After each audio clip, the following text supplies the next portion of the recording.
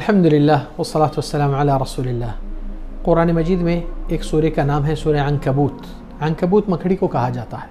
अल्लाह ताला उसके अंदर एक आयत फरमाए मसलुल्लदीन तखदुमिंदून अलिया जो अल्लाह को छोड़कर ऐर गैरों को अपने कारसाज, मददगार, पालनहार मुश्किल खुशा और हाजत रवा मान कर उनसे दरख्वास्तें रखें कि हमको बचाओ, हमारी मदद करो, हमारा फ़लान करो।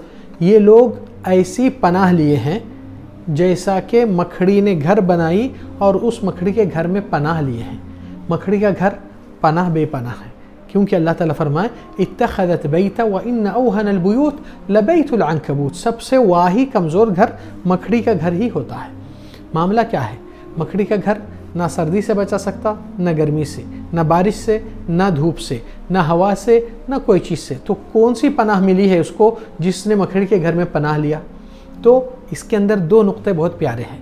पहला नुक़ा अल्लाह ताला फरमाए, इत्तखदत बैता, जैसा कि मखड़ी ने घर बनाई है, बनाया है नहीं। सीग मुन्नस है, फीमेल के तरफ़ नस्बत दिए हैं। आज का साइंस इस चीज़ को डिस्कवर किया है कि घर बनाने के जाल में फ़ीमेल का ही अदा और प्रोसीजर और मेहनत होती है।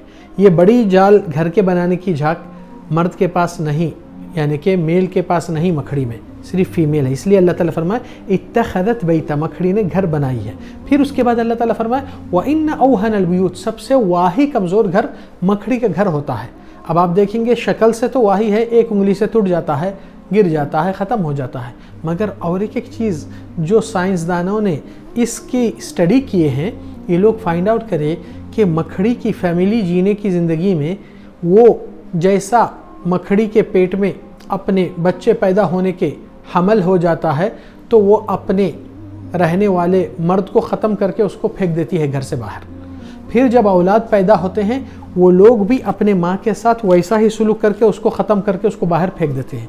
यानी कि ये घर सिर्फ़ शक्ल और जाली से कमज़ोर नहीं, बल्कि रिश्ते नाते एक दूसरे का साथ देने से भी दुश्मना है। कमज़ोरी ताल्लुक़ात में इस हद तक आ चुकी है कि अल्लाह ताला कितना इल्म और कितनी रोशनी आपको दिला रहा है कि अल्लाह के सिवा किसी और गैरों से वाबस्ता मत कीजिए, अल्लाह ही से मदद मांगिए, वही आपके लिए काफ़ी है। वसल वसलम नबीना